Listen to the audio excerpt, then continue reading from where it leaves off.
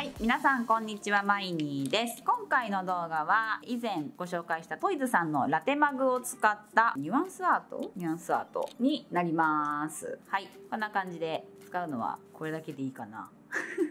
もしかしたらまたちょっと変わるかもしれないけど最後まで見ていただけますと嬉しいですそれではどうぞはいということでラテマグからこの2つ5と6なんだっけ？紫芋とキャラメルアーモンド。こちらを使ってやっていきたいと思います。どっちが先でもいいんだけどこっちを先にするか。ベースのカラーはまあ塗らずにいこうかなと思います。意外と光ってね私の実名見えなくなると思うんで。はい。あーかわい。いもうほんとこれは動かさなくても可愛いいけどね。グラデしあグラデじゃない。動かさなくても。何か同じこと言うのあかかわいい。じゃあ動かします。これねマグネット難しいよね動かすの。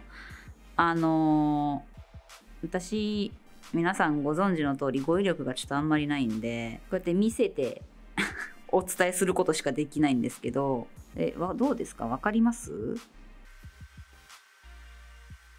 あっていうかあれか。もうちょっとギュイーンとした方がいいか？わかんな分かりづらいよね。申し訳ない。そしたし今失敗したわ。これ全面に塗っちゃダメだ。全面に塗っちゃダメよ。まあ多分次のせる色一番濃い色だから大丈夫かな。そう根元の部分はちょっと取ろちょっと一旦色取って先端だけ濃くしとくわ。そうだったそうだった。これマグネットに色がついてんじゃなくてジェルのカラーに色がついてんだったね。マグネットの色は一緒。ユニコーンって感じ。ユニコーンサーモグラフィーみたいな。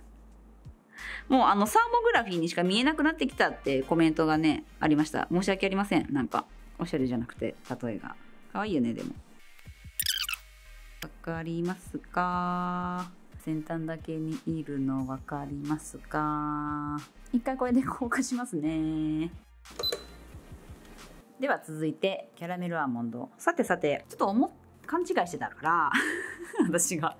そうだそうだジェルに色がついてるだけだったっていう勘違いしてたんでちょっと私がやろうと思ってた後できるんかしらっていう不安がすごい今ありますけどやってみましょう。はい。あでも色あるからいいかな。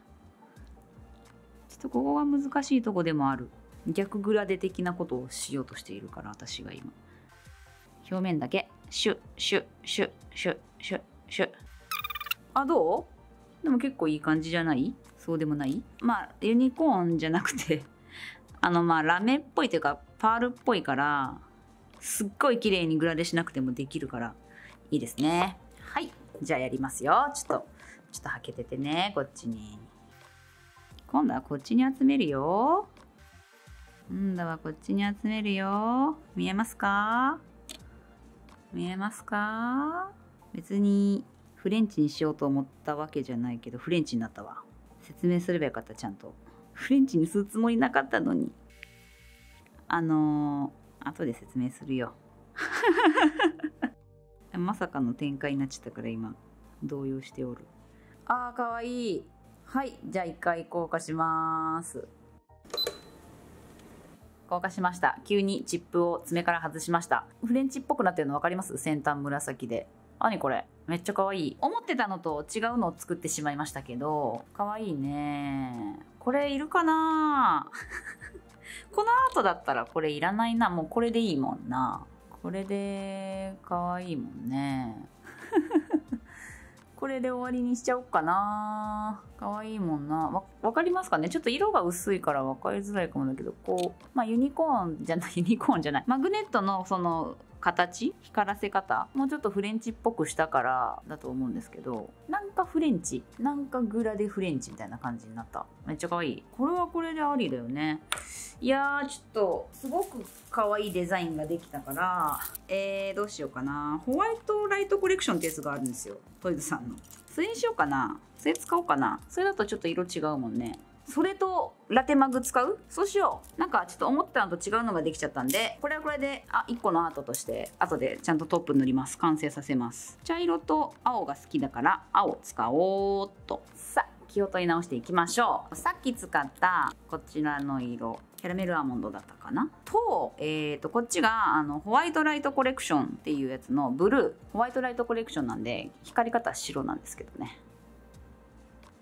ブルーみたいなパープルみたいな感じの色のやつを2つ使います。一旦まあさっきみたいに根元はこれにしようかな。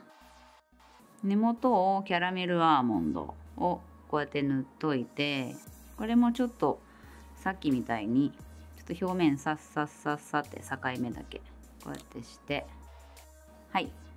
グラデーションみたいな感じにします。でこっち側を集めます。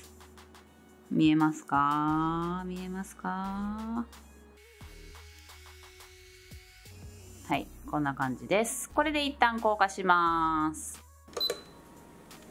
はいじゃあ次がホワイトライトコレクションを今度先端側に、まあ、ちょっとさっきと塗る順番違うけどこっちの方がやりやすいかなと思って一旦やってみてます。うわかわいい色。しまったな。ベース塗った方が良かったかな。まあいっか。もうちょっとやっちゃった。これもだからちょっとグラデっぽくちょんちょんちょんとしてください。さっきみたいな方法でやるか。こうやって塗っといて。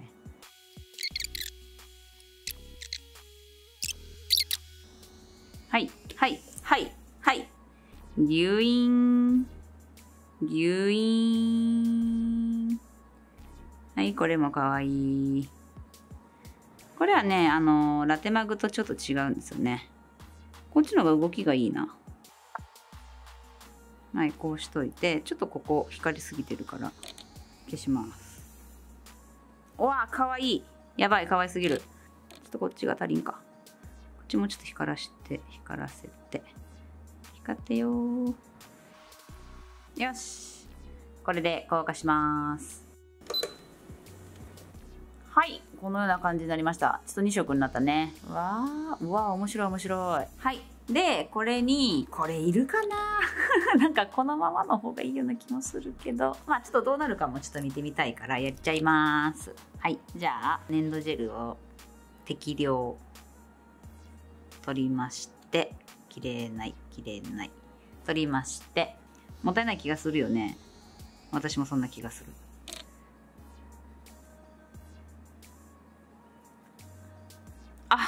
っと待ってスパチュラから全然取れないわ。はい取ります。で後からトップ塗っちゃうから多少グワングワンでもいいんですけど。ちょっと待ってね。さあちょっと形を整えて。形を整えるというかいびつな形に整えて。曲がってる感じにするの。よよ意外と厚めにした方がこれは可愛いから。でもこういう感じに置くのって結構粘土ジェル扱うの難しかったりするからそれ苦手な方はねこういう置き方いいよ。よし。ちょっとこれで一旦硬化してでもうトップ塗っちゃいましょう。うんこれでいいと思う。よしじゃあ硬化します。はい硬化終わりました。こうこういう感じです。わかります？なんか光り方がねこの粘土ジェルで光の屈折で光り方が変わる。ウィンゴンゴン変わるという。うわーかわいいわ。初めてやったけどこのグラデっぽい感じで。はい。でさっきのこちらも今トップ塗りました。いやでも可愛い両方とも。私の爪がフレンチだからフレンチフレンチっぽくなってるのかなと思いきやここね。実はそうでもないっていう。うわーかわいい。わーどっちがお好みですか？これやってもなんかちょっと変わった感じになっていいよね粘土ジェル。この形じゃなくてもいいけどね。ちょっといびつな感じも可愛いなという感じです。マグネットのグラデの感じ？めっちゃ可愛いわ。あー可愛い。ずっと見てられる。はい。ということで、まあ、今回は最初ねちょっと思いがけずすごい綺麗めなデザインができたので、まあ、それが一応これですね。5と6の2色使いでやりました。でちょっとね思ったのと違ったから、えー先端先端をホワイトライトコレクションの2にしました。これはこれとこれだね。で私さっきフレンチの感じのやつ説明するとか言っときながら説明しなかったね。はい動かし方だけ説明します。こうやってさ私当ててるでしょこうやって。これでなんかここここの縁のところに光を集めてるんですよ。真真ん中というか。でこうやって真ん中に集めてからでそうするとこの辺がこうやって光ってくるんですよね。こうやって当ててると。これってこうやってやると近づいてくるけど上からこうやって当てると光いなくなるんでそれを利用して根元からギュイーンってこっちにやってくると磁石が丸だから丸の形に沿ってマグネットの光がなくなるのでそれを途中で止めてここに集めた状態にしたって感じです。はい。ちょっと言葉だけだったんで分かりづらいっていう方いらっしゃると思いますがお許しください。えー、皆さんもねあのお好きなカラーでマグネットのカラーたくさんあるのでお好きなカラーでぜひいろいろ試してみてください。ということで今回の動画は以上になります。最後までご視聴いただきありがとうございました。チャンネル登録もぜひよろしくお願いします。それじゃあバイバーイ。